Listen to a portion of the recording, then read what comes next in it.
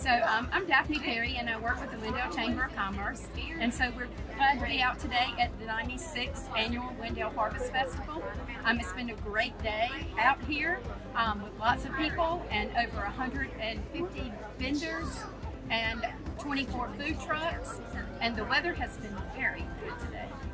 So I think today it's been a good crowd. We think there's probably been over 10,000 people and that it's still early in the day, that people will be still coming up until tonight. We have the Band of Oz from 6 to 9 and so people will be coming on out to for the rest of the day.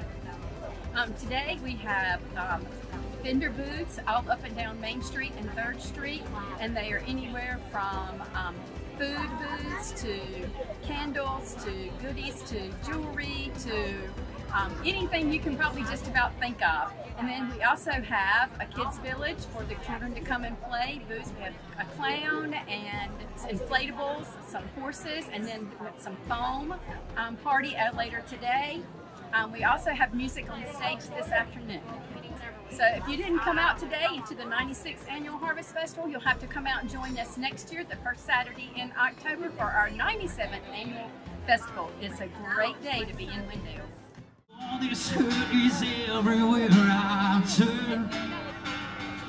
A new life seems so far from where I'm reaching.